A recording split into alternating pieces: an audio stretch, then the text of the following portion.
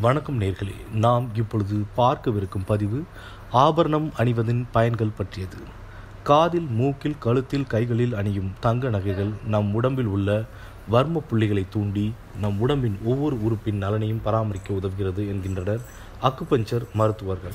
தங்கத்தை காது மூக்கு கைகளில் போடுவதற்கு ஸ்பெஷல் காரணம் என்னவெனில் தங்கம் உடம்பை தொட்டபடி இருந்தால் நம் உடலின் தேஜஸ் அதிகரித்து அழகு மிளிரும் என்கின்றனர் நிபுணர்கள். அதேபோல் கால்களில் போடப்படும் வெள்ளி கொலுசு பெண்களின் கால் நோவுகளை நீக்குகிறதாம். மாத விளக்கு சமயத்தில் அதிக அளவில் சிரமத்திற்கு ஆளாவதில் இருந்து பாதுகாக்கிறதாம். நாம் போடுவது தங்கமோ வெள்ளியோ அல்லது சாதாரண மெட்டலோ எதுவாக இருந்தாலும் அந்த ஆபரணம் என்பது நம் உடலின் அக்குபஞ்சர் புள்ளிகளை தூண்டித்தான் விடுகிறது நேர்களே. நன்றி.